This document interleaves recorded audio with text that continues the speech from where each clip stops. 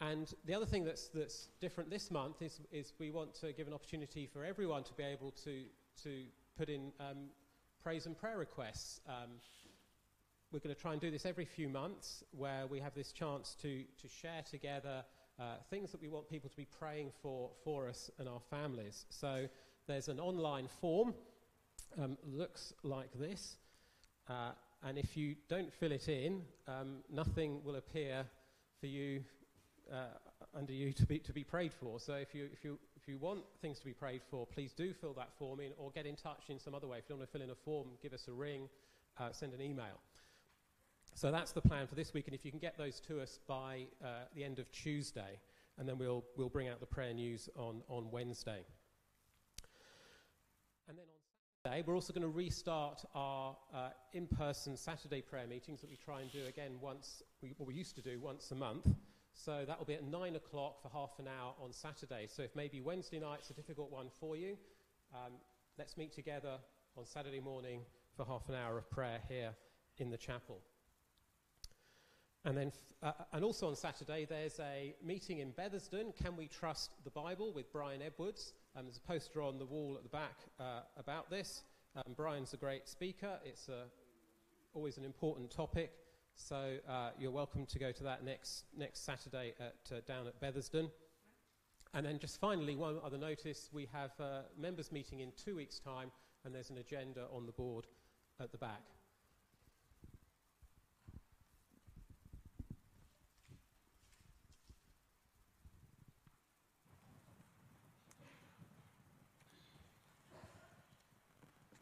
good morning to everyone. It's good to see you all again. And are we on the computer as well? Or if anybody's watching? I'm not sure if anybody's watching. Yeah, yes. Well, it's oh. being recorded, yeah. All right. Welcome to those who are online as well. So I do trust you um, will be find this morning encouraging to you. And uh, I do want to begin reading a little bit from the Psalm, Psalm 34, as we begin. It says, I will extol you. I will extol the Lord at all times. His praise will always be on my lips. I will glory in the Lord. Let the afflicted hear and rejoice. Glorify the Lord with me. Let us exalt his name together. I sought the Lord, and he answered me. He delivered me from all my fears. Those who look to him are radiant, their faces are never covered with shame. This poor man called, and the Lord heard him. He saved him out of all his troubles. The angel of the Lord encamps around those who fear him and he delivers them. Taste and see that the Lord is good. Blessed is the one who takes refuge in him. Let's stand and we will sing, Come, thou fount of every blessing.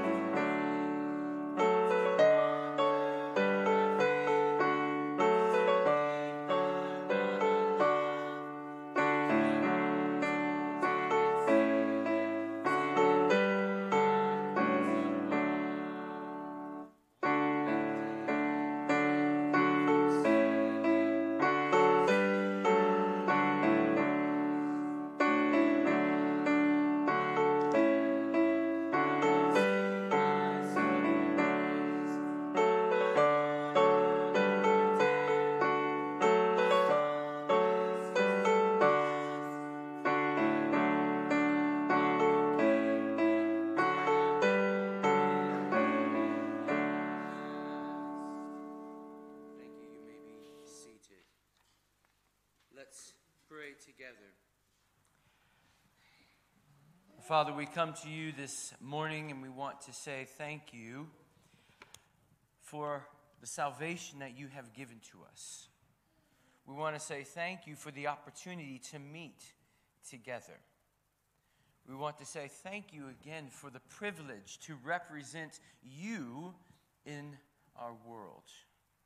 Thank you for the health that you've given us, at least to be able to make it this morning. Father, we should be able to lift up your praises. And sometimes lifting up your praises um, reminds us that, look, we have wandered away. As we just sang, prone to wander, we feel it. And so we pray this morning that you will help us to taste and see that you are good.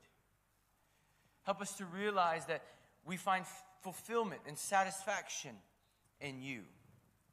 And we know that you are beyond what we can think, what we can even imagine, the scripture says. You are beyond all of our praising. But today we come and we want to acknowledge who you are. And we want to give you the praise and the thanks that you deserve because of your loving kindness towards us. We pray that you'll help us today, meet with us this, today, and encourage the hearts of the believers and convict those who do not know you. Let them see your goodness and let your goodness draw them to you. And it's in your name we pray. Amen.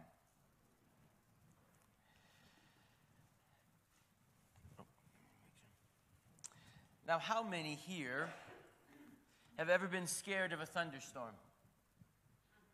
Anyone been scared of a thunderstorm? Now, um, I grew up in the Midwest of America, and so we had thunderstorms quite a lot. And so we, we got used to them a little bit. But, um, you know, when you hear thunder, or when you hear or see the crack of lightning, your heart begins to, you know, start to pound. And you, you don't know if it will happen again. You, you try to see the lightning and you listen to how close it was. You know, you feel like maybe the windows are going to come crashing in. And when you get scared of something, what do we do? We run to a safe place. Now, I remember when I was a child, um, we had, funny enough, we had some uh, family friends staying at our place, and there was a massive thunderstorm that came through, and I got in the middle of the night, as you do when you're younger, you get scared. What do we do? We run to our parents. You know, so the big thunderstorm comes, and so I'm lit, you know, I think it's probably about your age, and I stand up, I get out of bed, and I go to my parents' room, and I cuddle into the bed to like, I'm scared. But it wasn't them. It was, it was the family friend. you know, so you take the scaredness of the storm, and then you get the fearfulness of this stranger. Well, at the time you think it's a stranger, but you know who they are. But the stranger in my parents' room, like it just compounds the fear and the anxiety. And finally, I found my mom. And she says, You know, could, you felt at that time the chaos. You can't grasp what's actually going on. You're tired. Where are my parents? There's a storm happening. But when I found my mother, she held me. She said, Hey, it's okay. Don't be scared. It's only a storm, and I am here. Not there, but I'm here. but from time to time, do you get scared? You? Anyone? We get scared. And both young and old alike, we all get scared. The same is true for people in the Bible. Jesus' closest friends got scared. You might know the story from Mark chapter 4. But the scripture says that day when evening came, he said to his disciples, Let's go over to the other side. And he left the crowd behind him, and they took him along just as he was. He was in the boat, and there were also others in the boat with him. And the furious squall came up, and the waves broke over the boat, so that it was nearly swamped. Now, Jesus was in the stern. He was sleeping on a cushion, and the disciples woke him and said, Teacher, don't you care if we drowned? Well, Jesus, he said, it says he got up, he rebuked the wind, and he said to the waves, Quiet, be still. And the wind died down, and it was completely calm. And he said to the disciples, Why are you so afraid? Do you still have no faith? So, in this story, Jesus' closest followers were scared out of their mind. They were literally thinking they were going to drown. What did Jesus do? Well, he simply spoke to the storm and he told it to calm down. And it did. But here's what I want to point out to us today. Even the young ones, specifically the young ones, but also for us older ones. Jesus said here at the end, Why are you so afraid? Do you still not trust me? See, the disciples here, where was their focus on? What was their focus on? The storm, on the waves, the rain coming in. After what Jesus did earlier in this, feeding 5,000 people, they now saw how powerful Jesus was once he calmed the storm, how great he was, how he was Lord and um, sovereign over the storm. Now, what we want to learn today is Jesus still hasn't changed. He's still the same. He's still Lord and sovereign over our circumstances and all of our situations. And we can run to Him. We can fall to Him. Even when, no matter where we are, we can go to Him and we can trust in Him. In 2021, situations seem uncertain. We start a new school. We might, uh, you know, go back to school for the first time after months off. People get sick. People are ill. What Jesus is trying to say here, what we learn, is Jesus is greater than all of these things, and we can fall on Him and trust Him in our circumstance. Because knowing this, it will help us find peace of mind. When my mom cuddled me after my fearfulness, I was at ease because I knew she was there and all was well. We can find peace, we can find strength in our times of trouble, not because of our weakness, but because of Jesus' and his greatness. And so I hope that is an encouragement to you as we think about who Jesus is. We can trust him, we can run to him in our most scared and fearful times, and he is always there for us. Um, let's sing. I stand amazed in the presence. You want to go ahead and, and um, stand as we sing.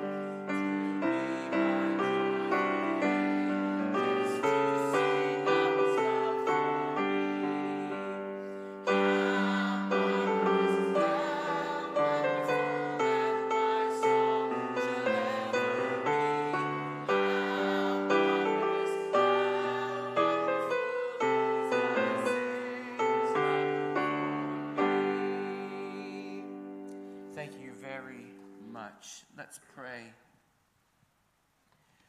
Dear Jesus, it will be our joy through the ages to sing of your love for us.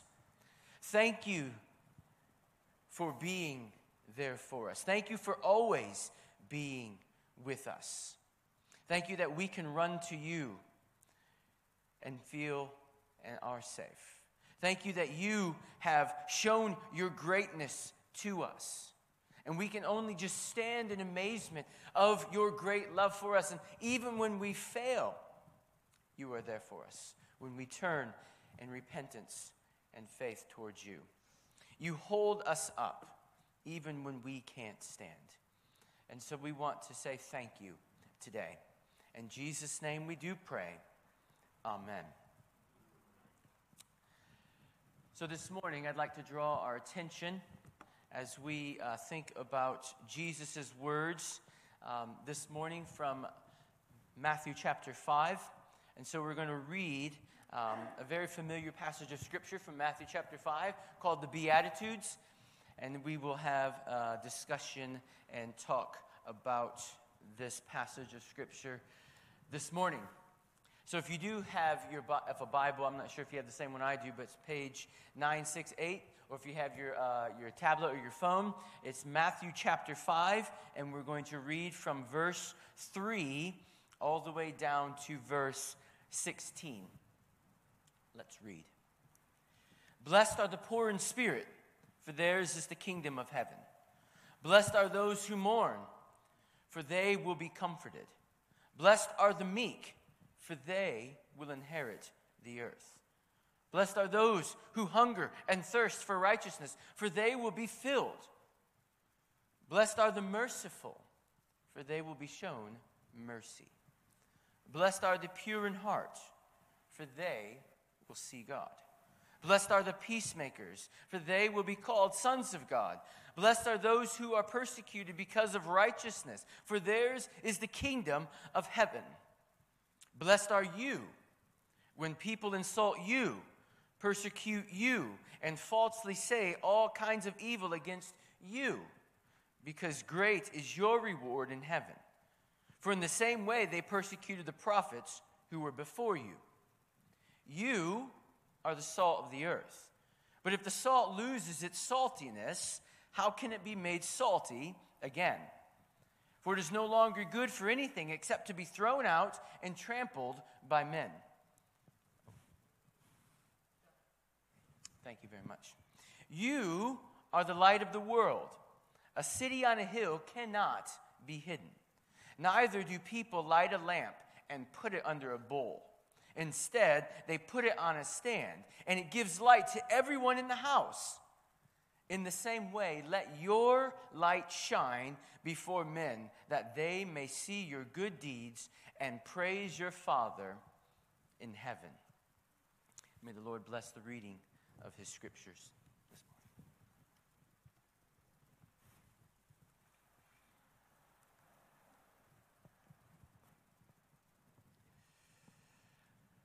I don't know if you were like me, but every once in a while, I get down a little rabbit trail of funny memes.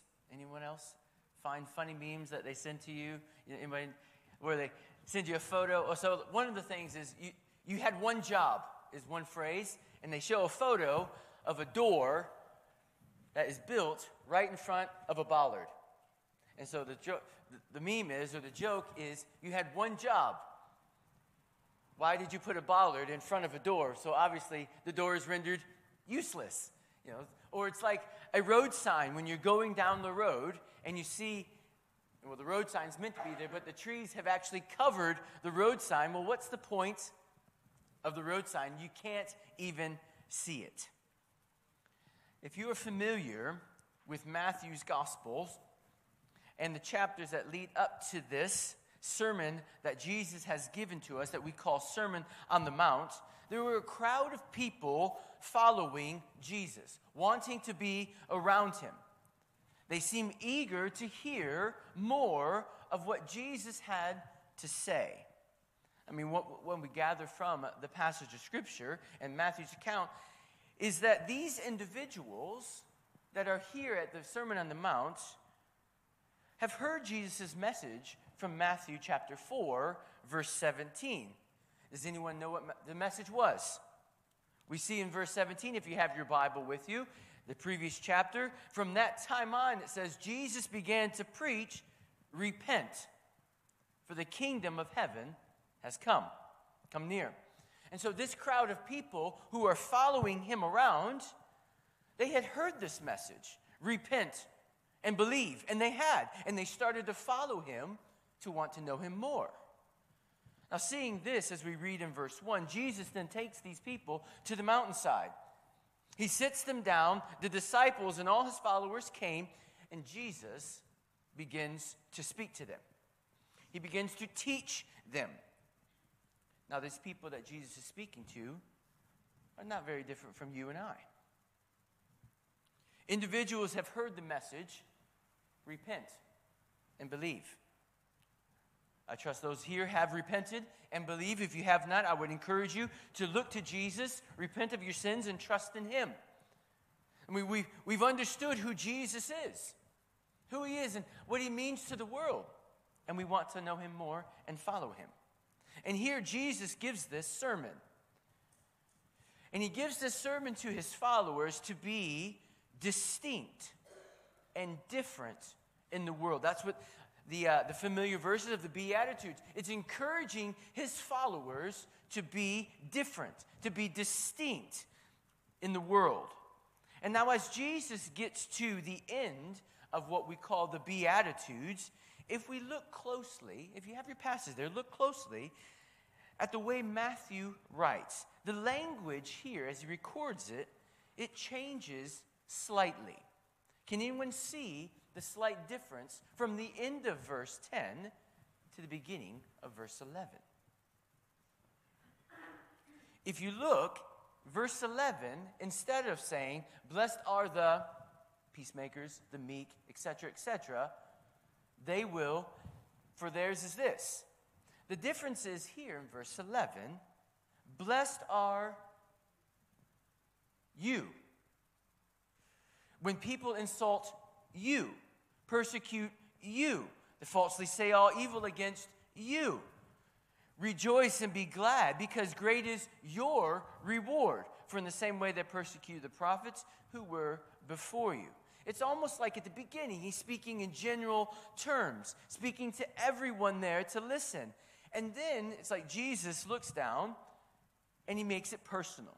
Maybe you've been in a lecture or on a Zoom call and you're listening to the call, or you're listening to the talk, or you're listening to your teacher, and then they call out someone's name.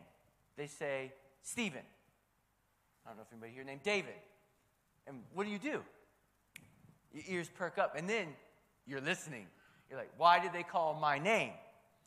Now, teachers and lecturers do this a lot. I remember when I was in school before Zoom class, so if there's no teacher there, usually you had a substitute and you got to kind of goof around a little bit. But back in the day of VCR, anybody remember what VCR tape players are? Anyone? So we, yeah. So we had when I was in, in secondary school, if a teacher, this my teacher, when he was absent, he recorded himself on a video camera. And so what they did, they wheeled in this. Back then, the televisions they weren't nice like this. They they were just as big wide as they were deep. You know, so there's a massive box on a big trolley, and they bring it in. And he was actually quite brilliant. He recorded himself, and uh, he started his lecture. And so, you know, as uh, as math and science, yeah, that's what that was his his his subject. You know, you, there's no one there. You're kind of not paying attention. You goofing around. But in the middle of his lecture, he says, "David, now what do you think about that?" And I'm like looking around like, you, and he called, uh, he did call out other people's names, so I wasn't the only one. But what he did was actually brilliant because you're sitting there and he grabs your attention. And sitting there, now I had my attention. He's going to call my name again. Who else is he going to call? And so we are now intently listening to what the teacher wanted to say. And very similar, I think this is what Jesus is doing. He's getting attention, not trying to keeping people from zoning out. And he changes the mode here. One pastor says about this section, it's almost like he's speaking to everyone, and it's like he pauses and he looks down at a particular people, which possibly might be his closest disciples, the 11, and he says, Blessed are you. Blessed are you. And he doesn't end there, he continues. He says, Rejoice and be glad because great is your reward. So now, when we get through these verses, verses 13, it feels like Jesus is beginning to wrap up his first thing. You're distinct, you're different. And these Beatitudes are given away in which his followers are needing to be distinctive in how they live. These are the characteristics that followers are meant to have. You know, it says, Blessed are you who, um, let me just reread it a little bit. Blessed are the poor in spirit. Blessed are those who mourn, they will be comforted. Blessed are the meek. Blessed are those who hunger and thirst for righteousness. Blessed are the merciful. Blessed are the pure in heart, the peacemakers, etc.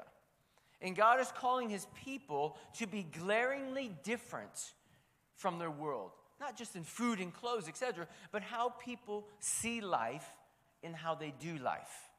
And it's these next verses, verses 13 through 16, that give us the reason why.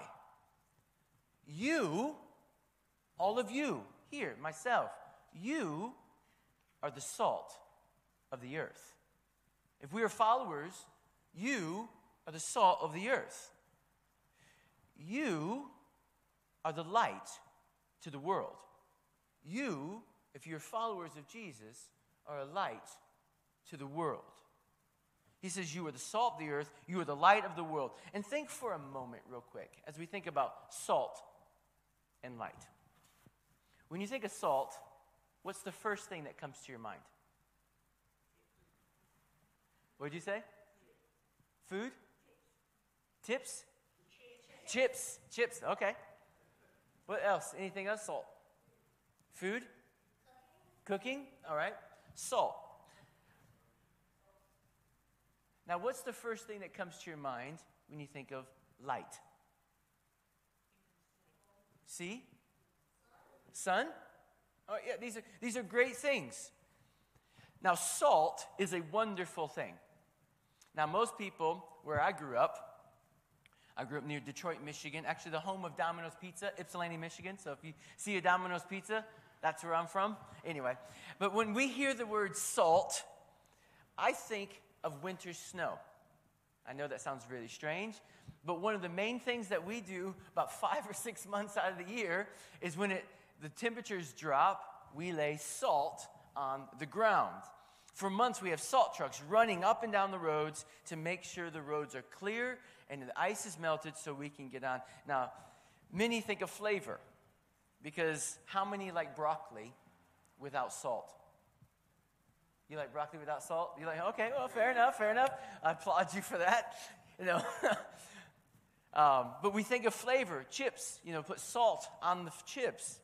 When we hear light, I always think of my parents' house because they have this massive motion detector light. So if you're coming in at night and you're in the car and it's dark or early hours of the night, you ride in and it just lights up the entire neighborhood. I think an airplane could probably land on their drive because it's so bright, it's blinding.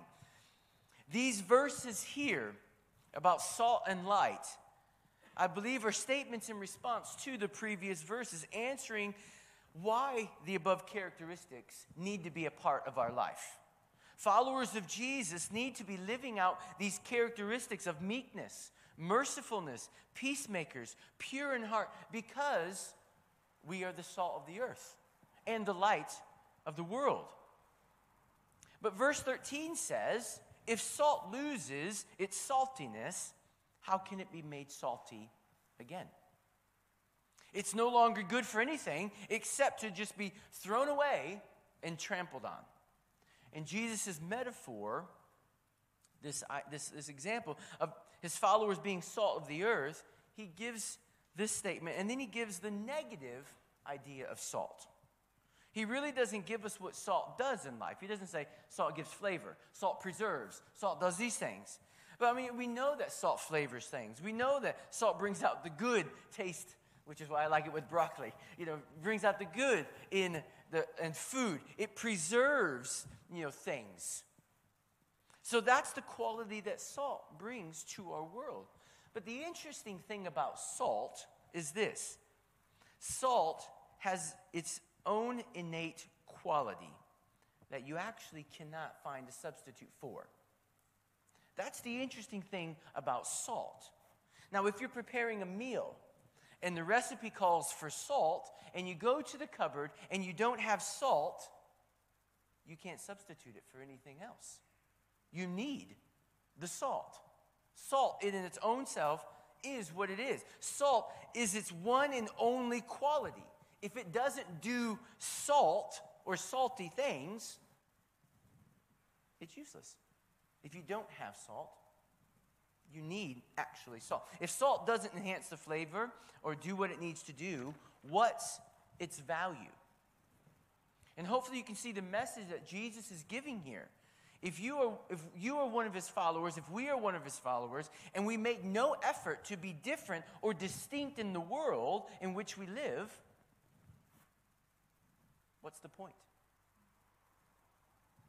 One pastor says if there's no effort on our part to be distinct in our world, then what we say about being a follower of Jesus is meaningless. It's pointless to people who hear us speak. Our lives ought to be lived out in such a way that is distinct. It's different than those without a reward or a hope of heaven, the kingdom and eternal life with our Creator God living like Jesus did, having ownership of the kingdom of heaven, having a comfort during our time of mourning, the ability to be meek because of our greater inheritance of Christ, showing mercy and love because mercy has been shown to us. One quote I do enjoy, uh, kind of hang on to quite a lot, is that why, what's, why do we love people? Why do we show care, care and tenderness and mercy to people? We do it because we have experienced that love, that mercy. We don't just do it for our own benefit. We do it because we have experienced it. And Jesus here is living like we know God. We've experienced the relationship with Him. We've experienced His love, His mercy, His peace and therefore we should live out those same things. Living like we are God's children, pure in heart, finding joy and gladness no matter our situation because of the eternal hope that we have through Christ. See, as his followers, our lives would be distinct from others. And it can be distinct because of our eternal hope. He says, Rejoice and be glad because great is your reward in heaven. I read this week. Our hope for an eternal tomorrow empowers us in our obedience today. Because we have a hope for an eternal tomorrow, it gives us the ability to obey and do what Jesus has done and showed us how to live. We can live like Him. So our life should be salty. Our life should be flavorful. It should enhance the good in the world. Salt has one job. The substance is its one and only quality. As followers, we should be like Christ. And Jesus is saying, We are the salt to the earth. We have one job as followers be like him. But also, Jesus said, it's not just your salt the, of the earth, but we are the light of the world. Look at verse 14. You are the light of the world. A town built on a hill cannot be hidden. Neither do people light a lamp and put it under a bowl. Instead, they put it on a stand, and it gives light to everyone in the house. In the same way, let your light shine before others, that they may see your good deeds and glorify the Father in heaven. Now, just like salt, light has one job to light, to illuminate, to, you know, if there's no light, there's no light. If there's light, there's light. It only has one thing to do. A light shines to light, to make things visible. See, if there's no light, What is it? Well, it's just a stick of wax with a wick in it, or it's just a glass bulb with no flint, or whatever is inside of it. it. If it doesn't light, it's useless. You just throw the light bulb away. A light bulb that's burned out, you don't keep. You throw it away and you get a new one. No one keeps that. Again, the substance of light itself is its one and only quality. It has one job to light. To, you know, if there's no light in here, you know, it's going to be a bit dark. If a room doesn't have a light on, Jesus says, Followers of me, you are the light of the world. Our life is just like a city on top of a hill. It shines and it can be seen for miles. Now, London is not on a hill, I believe it's in a valley. But because of all the lights, it still can be seen from a distance. I mean, literally, last night I was driving from High Barnet into Finchley. And as you come right by High Barnet Tube Station, if it's a clear night, you can clearly see the lights of the city. And that's what, like nine miles away, I think it is, seven, seven or nine miles away. You can see the city because of the lights. Just like sh- salt shows our distinctiveness, our value, light does the same. So Jesus says, You are the light of the world. Now think for a moment. Is there anything about this phrase, you are the light of the world, that sounds slightly familiar, maybe interesting to you? Anything? Exactly. You've read John's gospel or you've heard it. John chapter 8, you read Jesus' words saying, I am the light of the world. Now, this statement here in Jesus' sermon sounds very similar to what he says about himself. John 8, verse 12 is where it's found. I am the light of the world. And we love that verse. I mean, we put it on posters. We, we, Jesus, the light of the world. But does anyone finish the statement? The very next phrase after Jesus says, he says, I am the light of the world. Jesus' very next word says, Whoever follows me will never walk in darkness, but will have light of life. His sermon here seems to be validating those words in John that if you are a follower of me, if you are my disciple, if you have repented of your sins and trusted me, turned to me, then within you, you have a light that is different than anything else in the world that you live in. You have within you the light of life.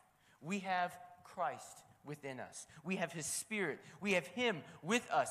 And we, you, are the light of the world, and we can shine that light.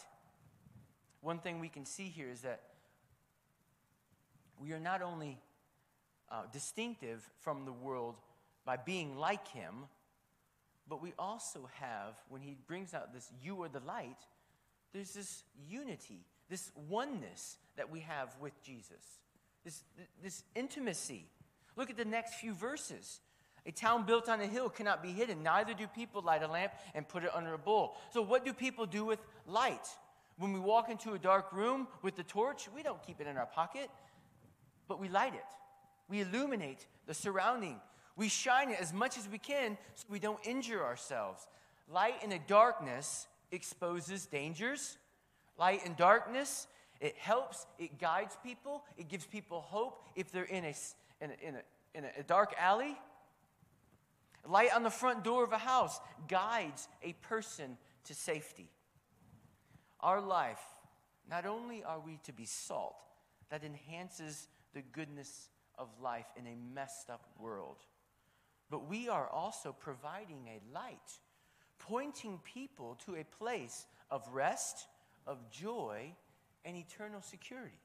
Our lives are meant to be a light hanging from the middle of a dark room, burning bright so that the room is lit up, or like a lighthouse, shining our, point, um, shining our light out and pointing people to the shore for safety. This is what Jesus says here in verse 16. In the same way, let your light shine before others. Why?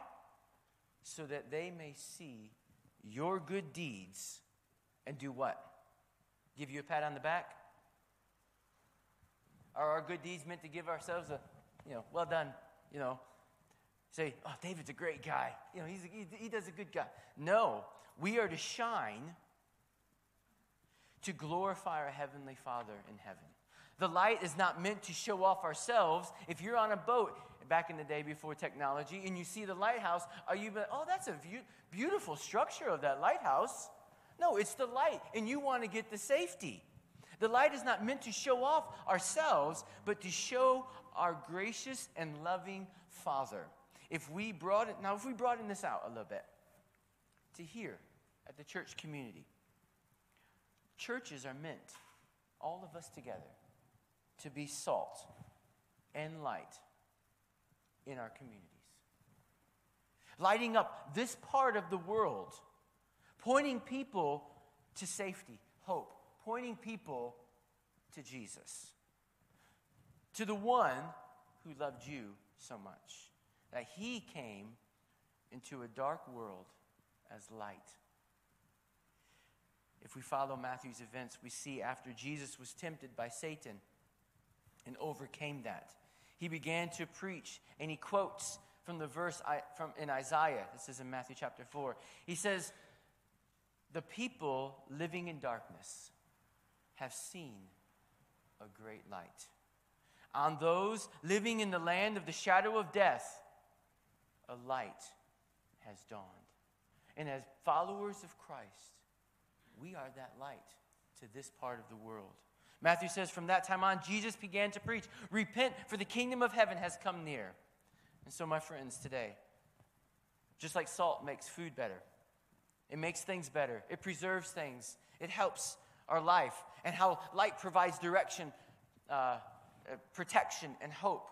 We are salt and light, and we must be like Jesus in our lives, showing and providing hope in our broken and messed up world because you are the salt of the earth and you are the light to the world.